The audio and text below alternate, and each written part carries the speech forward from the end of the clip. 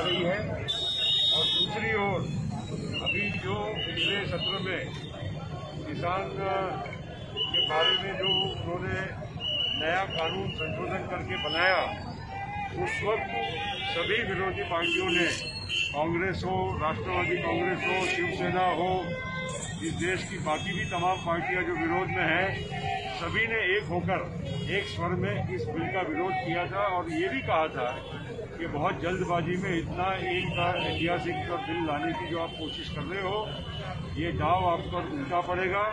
इस देश के किसानों को आप फंसाने की कोशिश कर रहे हो। और दूसरी ओर, ये बिल को बिना कोई चर्चा, केवल दो घंटे में, मैं जब स्वयं खड़ा हुआ बोलने के लिए तो मुझे कहा गया, दो मिनट में अपनी बात खत्म करो।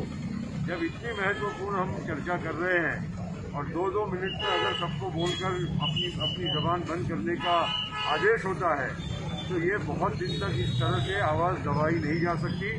किसानों की आवाज़, ये पूरे देश की आवाज़ है और इस आवाज़ को और भी तेज़ी से हम सब लोग मिलकर उठाएँगे और उनके समर्थन में आज भारत बंद है।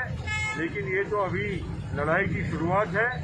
अभी ये लड़ाई के बाद ये पूरा जंग जीतेंगे और उसके बाद ये सरकार को फेंक कर उखाड़ेंगे पटेल आगे।